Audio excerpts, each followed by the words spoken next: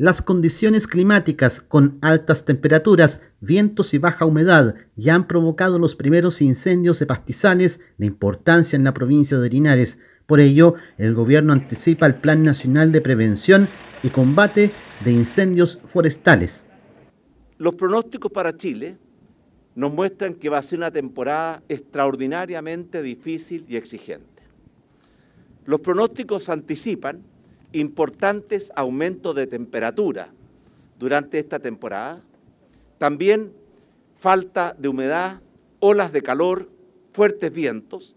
Para la temporada 2020-2021 se cuenta con 52 aeronaves que podrían ampliarse a 62, 2.957 brigadistas para combatir incendios en el país y 14 brigadas nocturnas.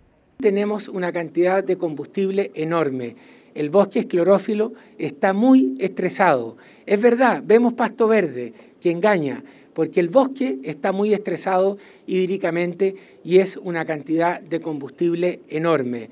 Al sumar los recursos del Estado con los privados, se podría llegar a un presupuesto total de 144 millones de pesos. Con esto se financiarán en total 118 aeronaves y 6.957 brigadistas.